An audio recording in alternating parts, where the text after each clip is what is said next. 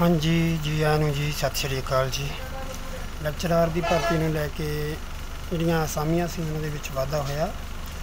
ਤੇ ਉਹਦੇ ਨਾਲ ਸੰਬੰਧਿਤ ਜਾਣਕਾਰੀ ਤੁਹਾਡੇ ਨਾਲ ਸਾਂਝੀ ਕਰਨ ਲੱਗੇ ਹਾਂ। ਦੇਖ ਸਕਦੇ ਹੋ ਤੁਸੀਂ ਸਕਰੀਨ ਤੇ ਵੱਖੋ ਵੱਖ ਜਿਹੜੇ ਸਬਜੈਕਟ ਨੇ, ਜਿਹੜੀਆਂ ਮੈਰੀਟੋਰੀਅਸ ਸੁਸਾਇਟੀ ਦੇ ਸਕੂਲਾਂ ਦੇ ਵਿੱਚ ਭਰਤੀ ਦਾ ਪਹਿਲਾਂ ਡੇਟ ਸੀਟ ਤੁਹਾਡੇ ਨਾਲ ਸਾਂਝੀ ਕੀਤੀ ਸੀ ਆਪਾਂ।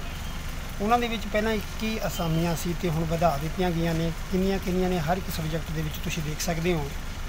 ਤੇ ਕੈਟਾਗਰੀ ਮੁਤਾਬਕ ਜਿਵੇਂ ਫਿਜ਼ਿਕਸ ਦੇ ਵਿੱਚ, ਫਿਰ ਕੈਮਿਸਟਰੀ ਦੇ ਵਿੱਚ, ਉਸ ਤੋਂ ਬਾਅਦ ਮੈਥ ਦੇ ਵਿੱਚ ਤੇ ਫਿਰ ਬਾਇਓਲੋਜੀ ਦੇ ਵਿੱਚ।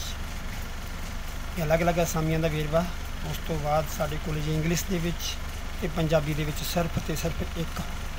ਪਹਿਲਾਂ 21 ਸੀਗੀਆਂ 21 ਤੋਂ 67 ਕਰ ਦਿੱਤੀਆਂ ਗਈਆਂ ਨੇ। ਮੈਰੀਟੋਰੀਅਸ ਜਿਹੜੇ ਇਮਤਿਹਾਨ ਦੇ ਰਹੇ ਨੇ। ਡੇਟ ਸ਼ੀਟ ਆ ਚੁੱਕੀ ਆ। ਸਿਲੇਬਸ ਪਹਿਲਾਂ ਆਪਾਂ ਤੁਹਾਡੇ ਨਾਲ ਸਾਂਝਾ ਕੀਤਾ ਹੀ ਹੋਇਆ। ਉਮੀਦ ਹੈ ਤਿਆਰੀ ਚੰਗੀ ਹੋਵੇਗੀ।